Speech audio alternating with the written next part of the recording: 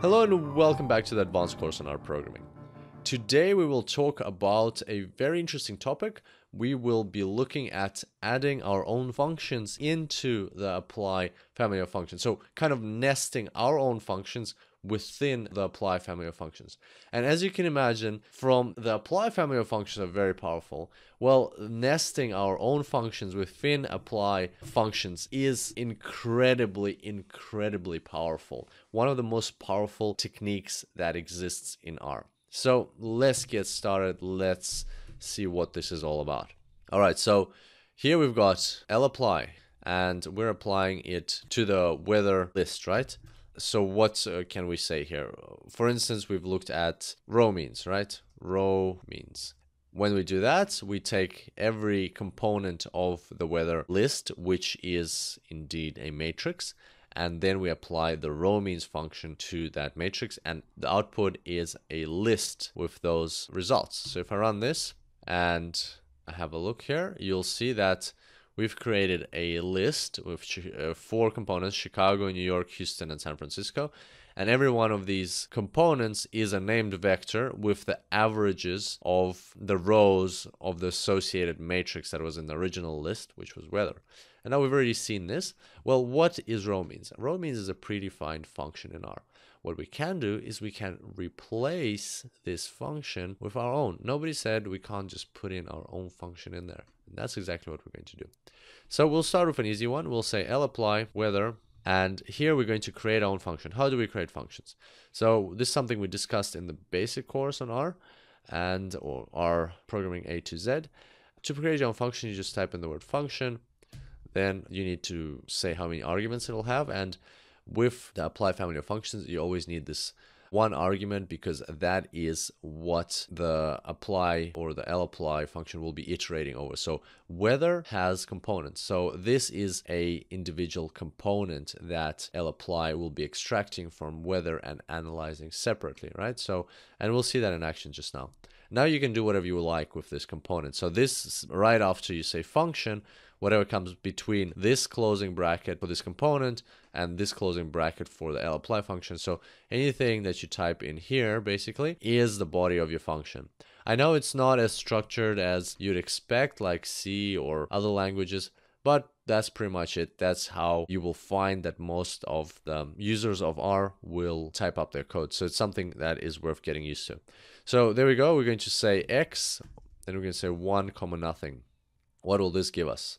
This is basically, this is our function and we're saying, so now for every component of weather, which is a matrix, we want this to happen. So basically want to use this function and the function, what it does is it takes a component, which can be Chicago, New York, Houston, or San Francisco, and then it will apply the square brackets with one comma nothing to it. So what it'll do, it'll give us the first row of every one of these matrices, and then they will be put into a list and sent off as the result of this line. If we run that, exactly what we were expecting, right? So there is our very first row of every one of these matrices.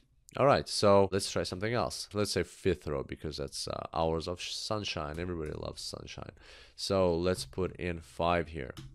What does that give us? That gives us the fifth row of every one of those matrices and they have been put into a separate list. Okay. And um, what else can we do?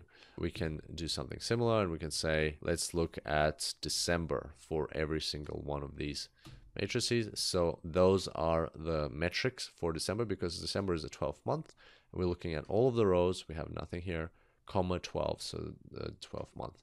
So there we go. That's December for Chicago, December for New York, December for Houston, and December for San Francisco. All right, so now let's do something a bit more complex. Let's say we want to take, or let's just type it up just for practice, lapply weather uh, function, and then x is our component. You don't have to name it x, you can name it z. You, let's name it z for a change. And here we want to say z square brackets 1 comma nothing. So I'm just going to actually bring up weather here so that we know what we're dealing with.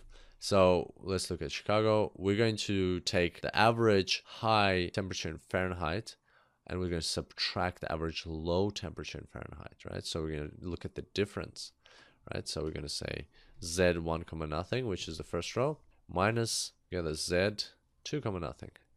And if we run that, now you have the difference. So if I look at the top, for Chicago, it's 32 minus 18, which is 14. 36 minus 21, which makes it 15. So let's have a look here. 14 and 15. So that is the difference in degrees Fahrenheit between the average high temperature for that month and the average so average high temperature across the years that we have had in the data set oh, that were participated in this analysis originally because we got the data set with these averages already. So basically the difference between the average temperature in January, the average high temperature in January and the average low temperature in January in degrees Fahrenheit. All right, so that is how we calculate the difference. Now what we want to do is we want to change this difference into a decimal, right? So we want to look at the relative change so that we can compare them. How do we do that? Well, in deliverable 2, we were asked for is how much by how much the temperature fluctuates each month from minimum to maximum, and we need to take the minimum temperature as the base. All right, so we're going to take Z1 minus Z2. We'll put it in brackets, and then we will divide by the base. Divide by the base. Let's do that again. So brackets, divide by the base, close these brackets and then we want to also obviously round because otherwise there'll be too many decimal points. Well, well let's run it like that for now. So you can see there's a lot of decimal points. So let's for now let's round it. Round. We want to take this comma two decimal points and then we run that. There we go. So now we can see how the temperature fluctuates. So the difference between the minimum and the maximum temperature or the low and the high that was observed in that month. The low uh, on average across many years. So you can see in Chicago, it fluctuates by 78% in January, right? So that is a huge difference.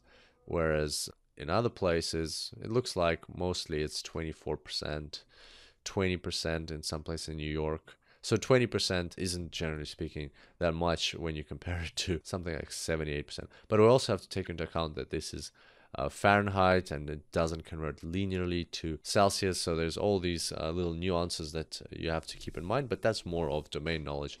The main thing here is that we have come up with this result that we have been looking for. So let's put a comment here saying that this is what we are kind of after. So this is deliverable to temperature fluctuations, but at the same time, we will improve it, right?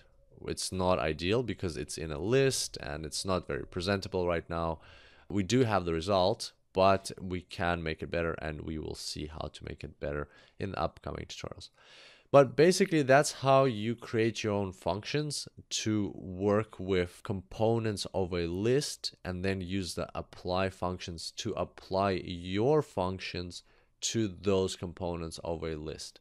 A very, very powerful technique. So definitely have a play around with that. See what other options or other things you might come up with in terms of working with these matrices that we have. So just create a function of your own liking. For instance, you could try and divide one of the metrics by the other. So what do we have here?